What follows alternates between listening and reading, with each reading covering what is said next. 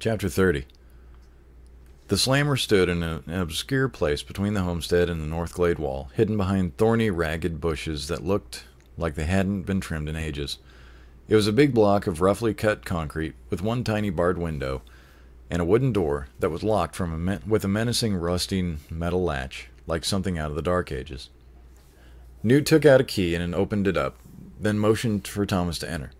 There's only a chair in there, and nothing at all for you to do. Enjoy yourself.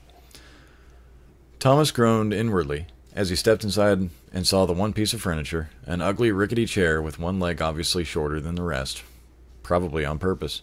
Didn't even have a cushion. Have fun, Newt said before closing the door. Thomas turned back to his new home and heard the latch close and the lock click behind him. Newt's head appeared at the little glassless window, looking through the bars, a smirk on his face. Nice reward for breaking the rules. You saved some lives, Tommy, but you still need to learn. Yeah, I know. Order. Newt smiled. You're not half bad, Shank. But friends who know, gotta run things properly. Keep us buggers alive. Think about that while you sit here and stare at the bloody walls. And then he was gone. The first hour passed, and Thomas felt boredom creep in like rats under the door. By hour number two, he wanted to bang his head against the wall. Two hours after that, he started to think that having dinner, dinner with Gally and the Grievers would beat sitting in the stupid slammer. He sat and tried to bring back memories, but every eff- effort evaporated into obvious mist before anything formed. Thankfully, Chuck had arrived with lunch at noon, relieving Thomas from his thoughts.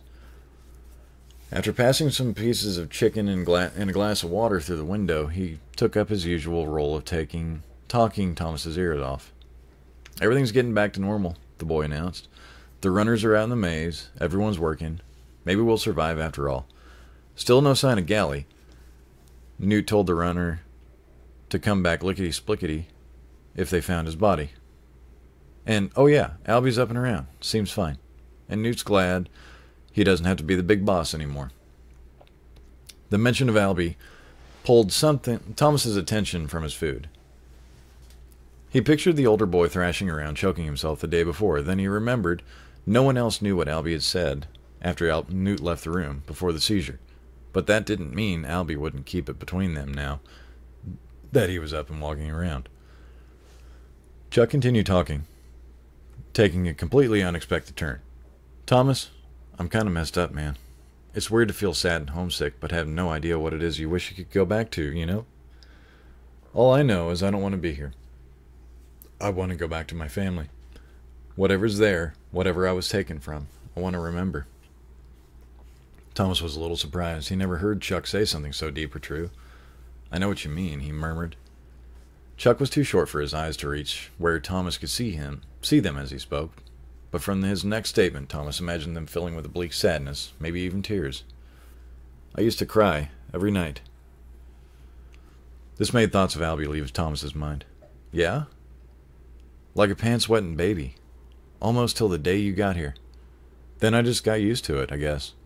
This became home, even though we spend every day hoping to get out. I've only cried once since showing up, but that was after getting eaten, almost getting eaten alive. I'm probably just a sh- shallow shuck face. Thomas might not have admitted it if Chuck hadn't opened up. You cried? He heard Chuck say through the window. Then? Yeah.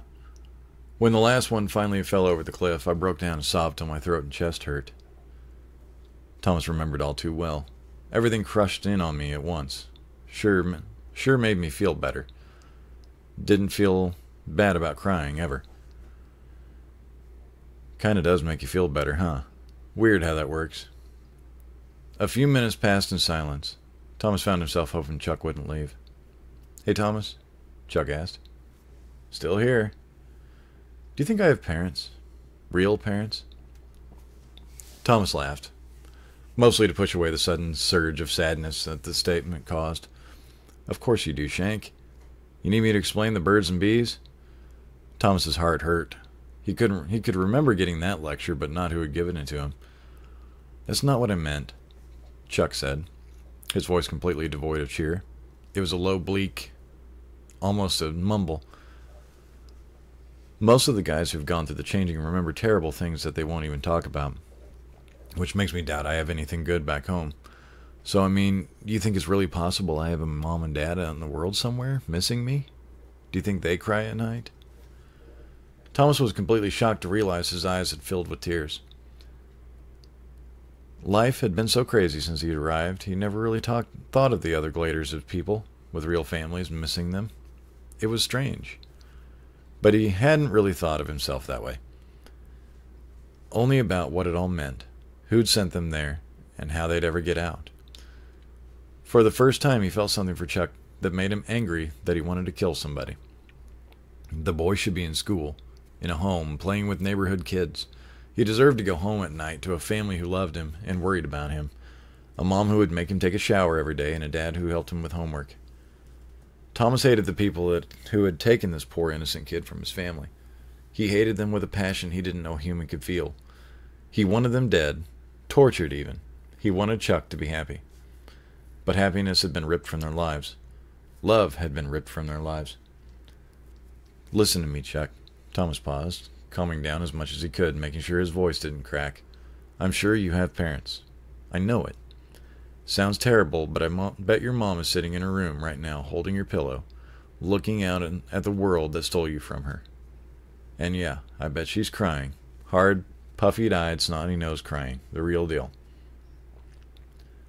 Chuck didn't say anything, but Thomas thought he heard the slightest of sniffles. Don't give up, Chuck. We're going to solve this thing and get out of here. I'm a runner now. I promise on my life I'll get you back to that room of yours. Make your mom quit crying. And Thomas meant it. He felt it burn in his heart. Hope you're right, Chuck said with a shaky voice. He showed a thumbs up in the window, then walked away. Thomas stood up, stood up to pace a little room, furning an intense desire to keep his promise. Sorry, fuming with an intense desire to keep his promise. I swear, Chuck. He whispered to no one. I swear I'll get you back home.